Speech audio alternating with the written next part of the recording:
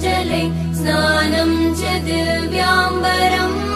नानारत्नविभूषितम् मृगमदा मोदाङ्कितम् चन्दनम् जातिचम्पकबिल्वपत्ररचितम् पुष्पम् च धूपम् तथा दीपम् देवदयानिधे पशुपते हृत्कल्पितम्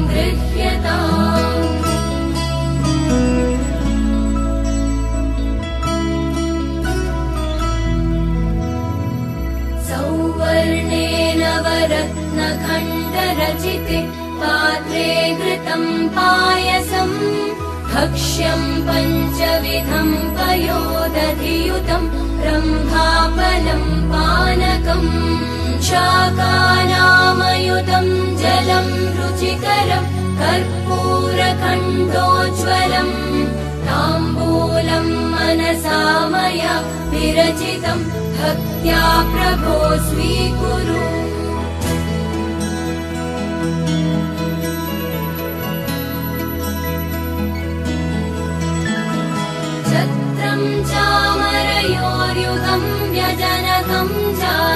चादर्शकम् निर्मलम् वीणाभेरिमृदङ्गकाहलकला गीतम् च नृत्यम् तथा साष्टाङ्गम् प्रणति स्तुतिर्बहुविधा एतत् समस्तम् मया सङ्कल्पेन समर्पितम् तव विभो पूजाम् गृहाण प्रभो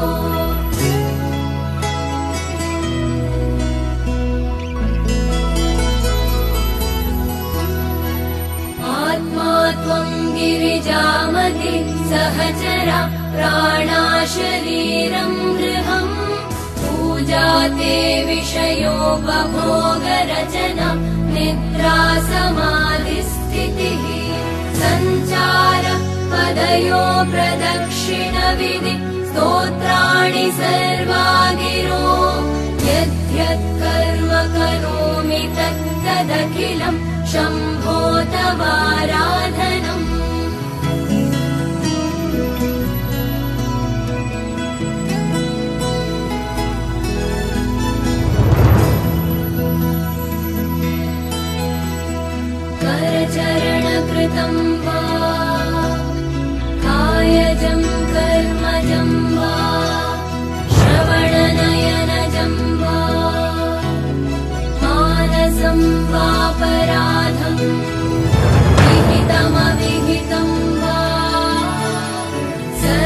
मेतत् क्षमस्य